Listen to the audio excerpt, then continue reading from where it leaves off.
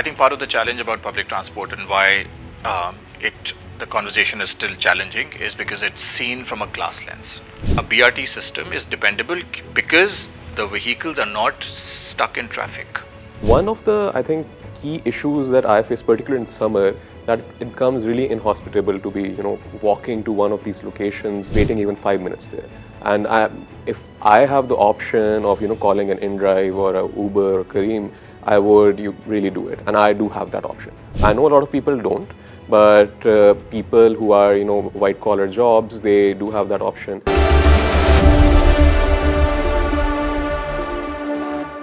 Hi everyone and welcome to another episode of Front Seat to Climate Change. Today we have with us Gulraiz Khan, uh, who is a design specialist and he's uh, worked a lot around topics concerning urbanism and public transport. And uh, pub public transport is a you know, topic that is very close to everyone's heart, especially anyone who's worked in the environmental and climate sphere. And the reason for that is that it's one of the easiest ways to offset your emissions and also make people's lives easier, especially in a hot climate country like Pakistan. So that is where we start our conversation today. Thank you for you know joining us, Gulraiz, and uh, we've had these conversations informally so many times, and I wanted to have you here to just talk about that. It's very simple to understand. We just had the World Environment Day. The climate benefits that we can quantify are the easiest when you talk about transport, and also it makes just logical sense to deploy it. But why does a country like Pakistan uh, continuously resist this transition? Uh, people in position, positions of power and people also who are you know well educated do not fully understand this. Uh, where do you think the gist of the issue starts about, and how can we you know tackle this on? Um, thanks, Dawar. Thanks for having me here. Pleasure to be here. Um, I think part of the challenge about public transport and why um, it the conversation is still challenging is because it's seen from a class lens, right? Because for a long time uh, we didn't invest in public transport, so the quality of it, you know, went down, and only the poorest were using it because they had no other option, right? Anyone who, as soon as they could get some means, went on to motorbike. So this coincides with the rise of the motorcycle motorcycle gave you both autonomy and was feasible, right? So bach gaye sirf the poorest of the poor to use it. That's why people think this is not worth investing in, right? They still take that lens to it. So a lot of middle income folks also think because हमने aspiration set किए that you know the richer you are you should have a car and so on, um, and that's why it's hard for people to wrap their head around. हालांकि दुनिया भर में when these people travel, when they go to London or elsewhere, they will use it, but when it comes to Pakistan over here, they feel that this is a no-go conversation. So वो एक जो buy-in होता है public का, it's hard to get. So at the same time, you mentioned how we go abroad and we tend to use public transport, and uh, it also looks cool over there doing it. That you've seen this in movies, and uh, Bollywood goes there to Europe, uses their trains and shows it off all these action movies have these segments inside trains. So they've, they've marketed it in a way that it's attractive. Uh, but when we look at our public transport, we've also you know, put up these connotations to it which are derogatory. You know, we call it Jangla bus, we call them Lal bus. And, uh, and that really, I think, in my mind, uh, again, is uh, where the upper class decides that this is something that the poorest of the poorest or also people who are not just worth interacting with will use. Uh, at the same time, this, these recent few years, uh, there has been a push for public transport. Uh, part of it is possibly, uh, you know, a push from our development donor sort of uh, complex that forces upon projects to us. But also, I think government is interested in saving fuel. And again, this argument starts with saving dollars, not really benefiting the public. But how do we shift that conversation away from these just these conversations that World Bank will give money for this project, okay, we should do it, or we will save dollars for fuel. Why not just make it a human angle to it? And how do we humanize this subject? Um, so I'll answer two things separately. I think one, uh, to make public transport desirable, it's the quality of the infrastructure and the quality of the vehicles. So yeah, usme we've seen a massive shift, right? People when they take the red bus, um, when you step in it, it's air conditioned. You know the bus looks nice. It makes a world of a difference. So yeah, so perception पे बहुत फर्क पड़ता है. The moment you start using it, same thing with Orange Line. The moment you step on the train, right, you're suddenly wowed by the quality of the infrastructure. Now, good quality infrastructure is expensive, and this is where the conversations around why was this so expensive to build, right, comes in. So you can't have both, right? So I think people in that class, uh, in that class conversation in their head, say, no, this is for poor. We shouldn't spend too much, so let it be cheap quality, poor quality, and we will not use it. So this is not for us. To change this entire thing, you'll have to invest in it. It will be expensive. It'll be expensive to build. It'll be expensive to maintain. Air-conditioned vehicles, air-conditioned uh, stations, stations that are glass enclosed these things cost money to build and maintain, right? So ये conversation uh, simultaneously नहीं चल सकती. So I think uh, there's a dissonance in our people's head. Um, to your second question, I think the push, you're right. Uh, शुरू में I think some of it was competition. I know. Uh, so okay, no, let me fold back. These plans have been in the works since the 60s and 70s. So as early as अब 70s की reports में you'll see ADB की, uh, you know, दूसरे consultant की जब master plans बने थे कि public transport होना चाहिए. The cost was prohibitive. So governments didn't invest in this. The 80s and 90s were not an era where you know uh, civilian governments had a lot of money to spend on this, right? Ye push then gets revived in 2000s, right, during Musharraf, and these just the approvals and all these process takes five six years. So the first one you see is 2011, the Lahore Metro bus. Uh, partially that came from the relationship with Turkey and Shehbaz Sharif's sort of relationship with them because Turkey may, you know, this, there was a big push on public transportation. वो भी recent push है वहाँ पे भी. So I think that moment had arrived globally. Pakistan maybe that moment arrives.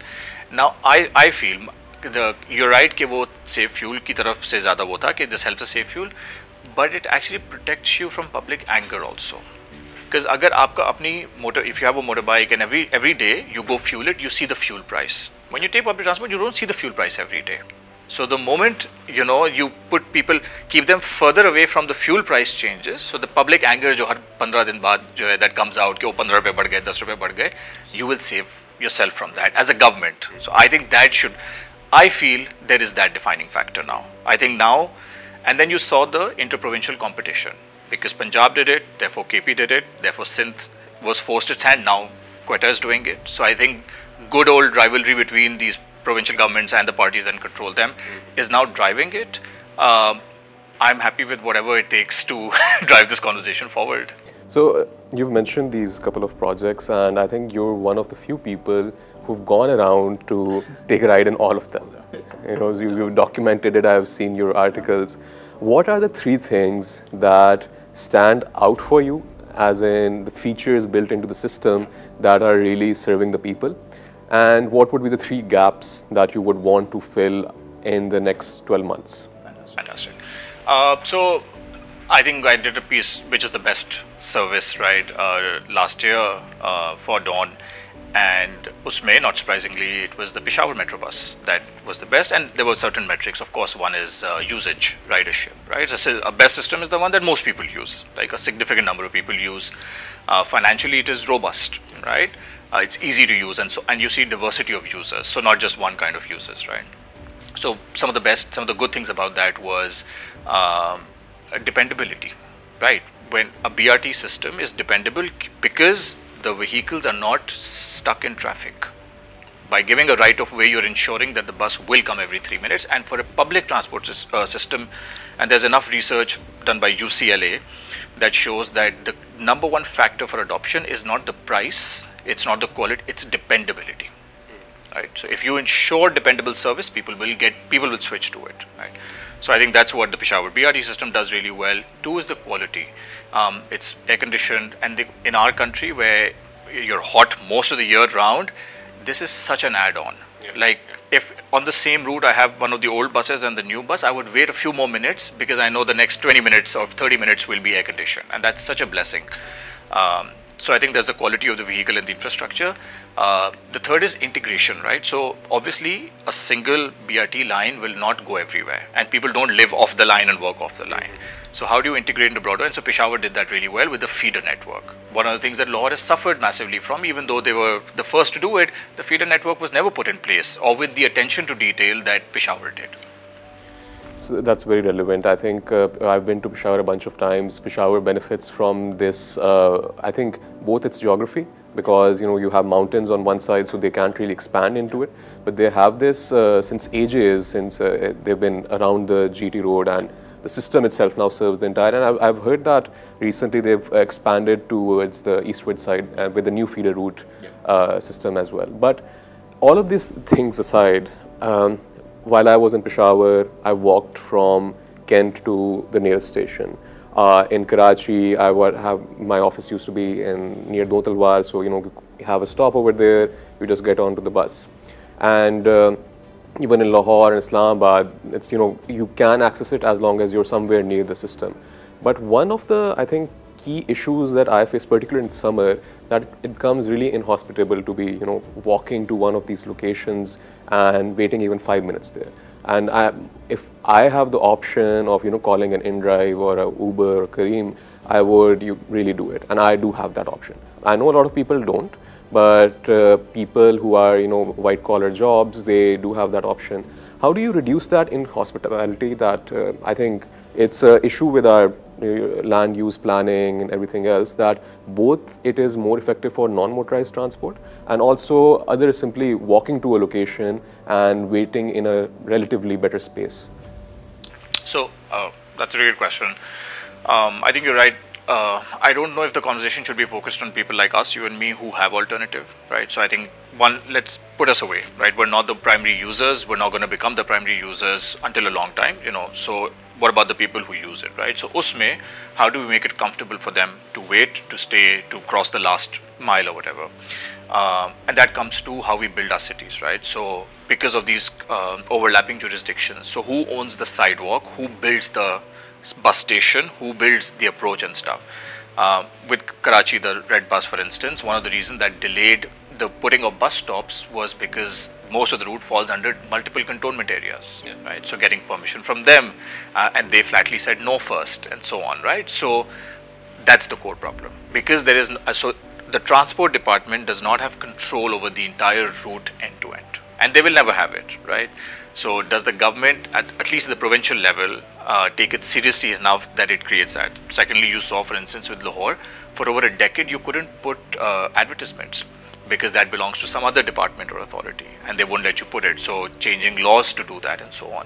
So I think to a broader question, the challenge of when will we see a cohesive network that is built, you know, with for people like this for to use public transport that's going to be really complex given our the way our uh, governance systems at least at the third level at the city level are structured no i'm glad that you brought about these uh, brought up these departments and jurisdictions because my next question was about political economy and uh, there are institutions in our country which are technically not meant to be a part of the urban planning sphere but they have uh, overdue importance in it uh, all these DHAs or Bahria towns, these are sort of uh, areas where you do not have bus routes. I even, uh, you know, I had a colleague once upon a time in airlift and they mentioned that they couldn't even get permissions to put up uh, pickup sites there.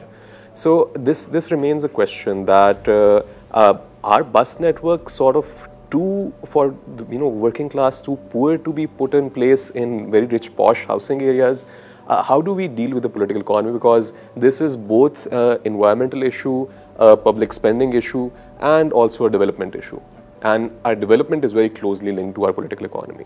And what would it take for finally, you know, resolve this puzzle? So I think this neatly circles back to that this is a class issue more than anything else, right? And so the DHAs or upper income neighborhoods, even though they utilize services of people who need public transport, they don't want their infrastructure around them because it brings down the property value, right? Or it will be seen as driving down property value. Shouldn't increase property value? That, that has happened in the case of Firozpur Road in Lahore. No, you'll so Firoz, because Firozpur Road is not upper income neighborhood, right? The mm. factories and the other things, right? So this is not, I think, absolutely. In fact, if we did a map of um, all of the flyovers in the city, and there's not a single one in all of DHA Karachi. Mm. There are flyovers that go into it, but never in it. Yeah. All the flyovers are elsewhere in the city, right? Because flyovers have a, you know um, effect on your property value. They bring them down, right? So I think they're very smart what, what they're doing. So I think your only hope is to align with these stakeholders. You cannot do it without them, right? And you know, I mean, you know, I'm someone who's very realist about these things. You need to uh, loop them in. There are obviously corridors. Uh, in fact, in DHA on 26th Street, a bus does run. So it's not they're not completely opposed to the idea. I think what needs to be done is the provincial government, and this is where you cannot hide from politics. You can't have favorite parties and unfavorite. You don't know who's going to be in power. You need to know how to work with every one of them. The provincial government has to take the lead on this. This is a provincial issue, right? Uh, it should be a municipal issue, but it isn't. Right now, it's a provincial issue. Uh, the provincial party has the muscle to negotiate with other state institutions, right? Uh, and that's where you bring them to the negotiating table for route definition, for building infrastructure along the route, for deciding routes, right? Looking at who's using routes and so on you can't do without it. it. It's hard in Pakistan because it's such a governance patchwork. But if you abandon it, then there is no alternative. Mm. Then you'll just build systems yeah. that don't work. No, completely understandable. I think we'll uh, close up our episode here. And before usually I close it up, I ask my guest uh, do a short speed round. Um, I'll throw these three words at you, and you're supposed to say something that comes to your mind. Okay. So, heat wave. Air conditioning. Okay, floods. Hmm. It's such a distant issue. Like you know, I, it, as a city resident, it doesn't affect you as much. Yeah, yeah. So unfortunately, I think that's. Last one is very simple: climate change. Public transport. so that's very relevant. So thank you for joining us. Uh, this was a pleasure to have you and. We thank our audience who's been here and uh, stay tuned because we have more guests and experts lined up at Front Seat to Climate Change.